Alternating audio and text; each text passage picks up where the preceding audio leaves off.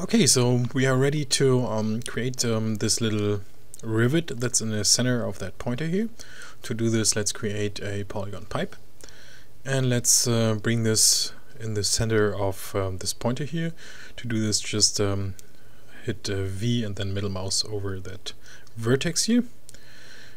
So um, now let's go to the top view and let's scale that guy down. Hmm, we want to move this guy up. And now let's go in and say okay x-ray to bring it to the size of that rivet in the background image. Yeah like this here. Something about here. Okay so now hit F to frame in on that. Mm, so if you hit uh, 3 it's gonna be very rounded so let's go in and say we want to insert some edge loops. One here, one there. And now let's add in one here.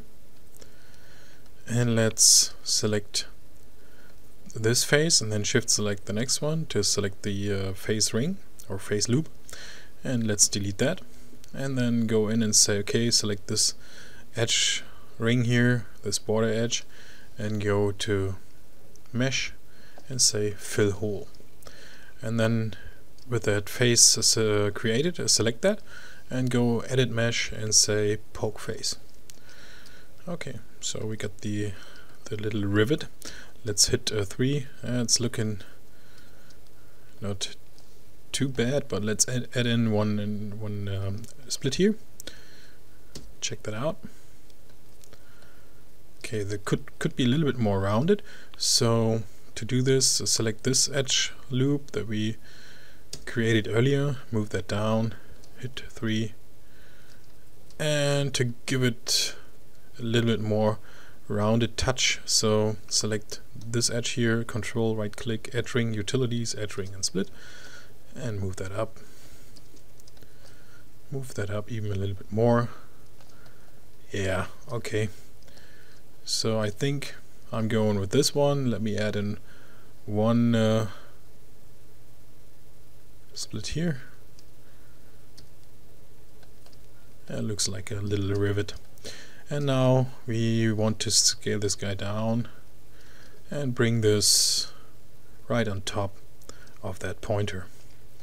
So okay, we got that done.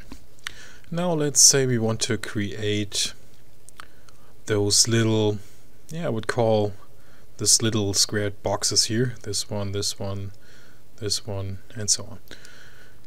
Let's create a polygon cube for that. Mm, and let's bring this somewhere here. Um, scale that guy down. And scale that oopsie, let's scale this out. Mm, let's go to the top view check that out. Scale this a little bit more.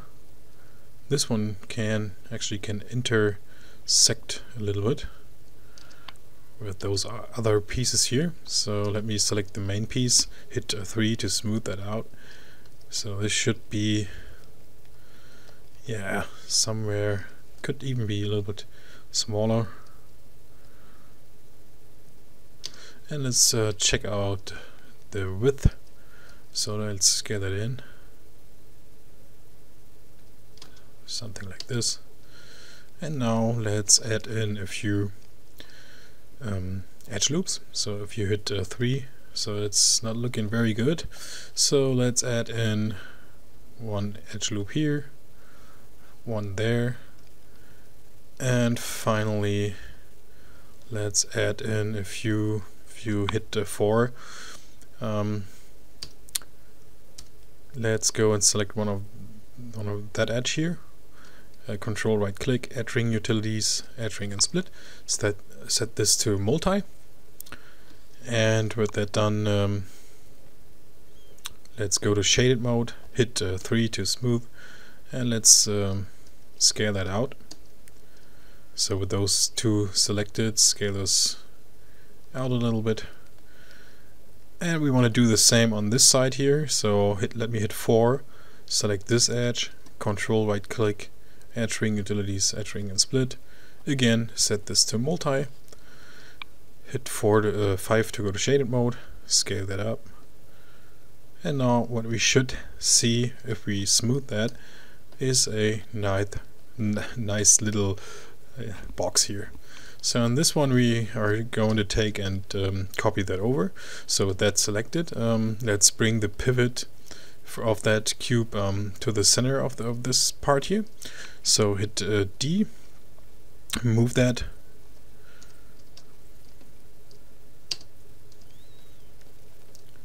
Okay, again, hit uh, D, move that, and then say V middle mouse over that center vertex here and there you go.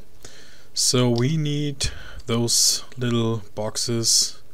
So this is the first one but we have to rotate that guy.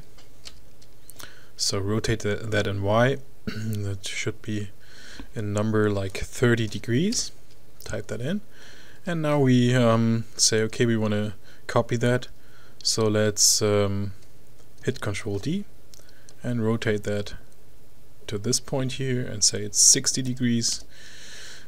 And let's do this again. So this time it uh, should be 90 degrees and so on and so forth. Um, so the next one would be 150 if I'm right here. Yes 150 and hit control D duplicate that 180 and again 210 and again this time should be something like 270 and again hit control D um, this is going to be 60 and negative 60 degrees. And once again negative 30 okay so we got um, all those little boxes created. Um, before we copy those um, to the other two uh, holes or parts here, um, we might want to add um, those numbers. But for now, um, let me just uh, first tweak that pointer here. So this thing is a little bit too wide here, but that shouldn't be a problem to fix. So let's select those vertices here and then say, okay, hit control, right click, and then say grow selection.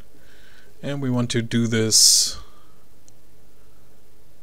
one more time. So hit a G. So you get all these uh, the vertices selected from that um, part that is sticking out here.